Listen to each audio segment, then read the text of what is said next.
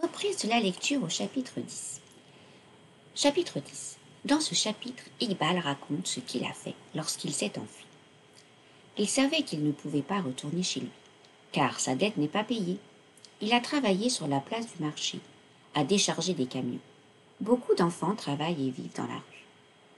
Un groupe, le Front de Libération, est venu sur une estrade au marché pour dire qu'une loi a été votée au Pakistan le travail des enfants est illégal.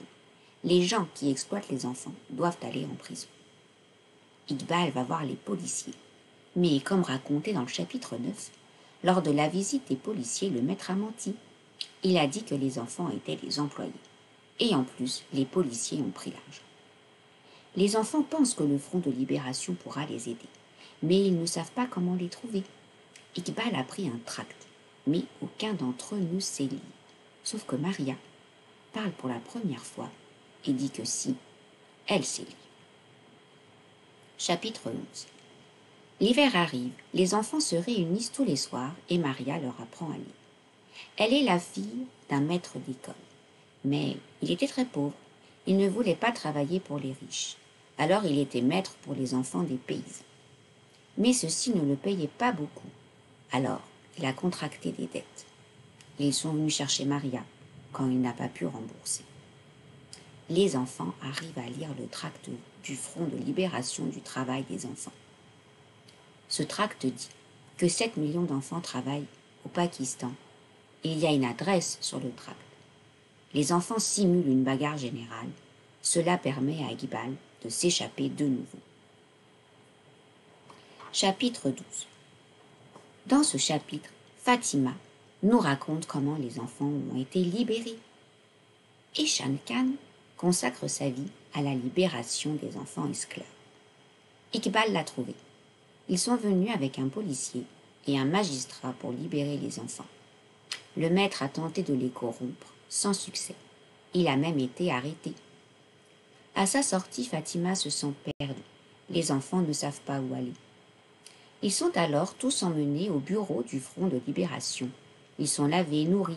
Ils ont des draps et des matelas pour dormir. Le premier jour, ils ne savent pas comment s'occuper.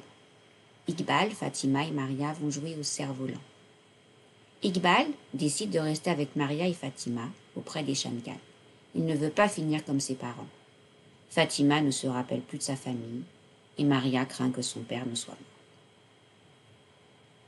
Chapitre 13 Et pense que c'est dangereux pour Iqbal de vouloir aider à libérer les enfants. Tous les militants subissent des pressions pour arrêter.